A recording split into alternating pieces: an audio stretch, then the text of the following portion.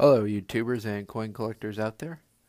This coin that we have here is the 1977 Hong Kong 50 cent coin.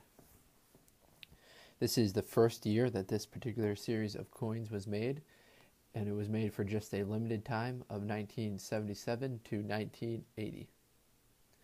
Its value is 50 cents which translates to about 6 cents United States dollars. In the year 1977, there were 60 million of these coins produced. Their metal content is nickel and brass, and their weight is 4.9 grams, diameter of 22 millimeters.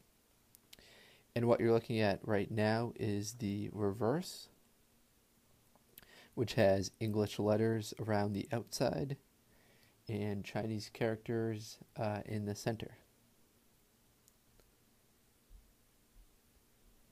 Uh, the obverse is Queen Elizabeth II of Great Britain. She appears on many of the world coins that I have, including this one right here. It's just a young portrait of her uh, facing the right.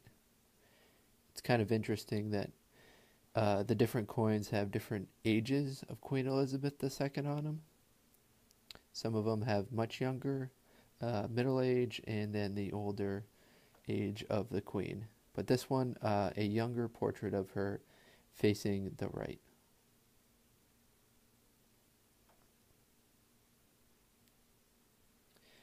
So there it is. Uh, here's a look at the side. There's bumps on the side.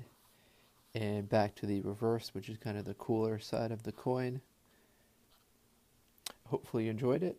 If you're into coin collecting, feel free to check out some of my other videos. Take care.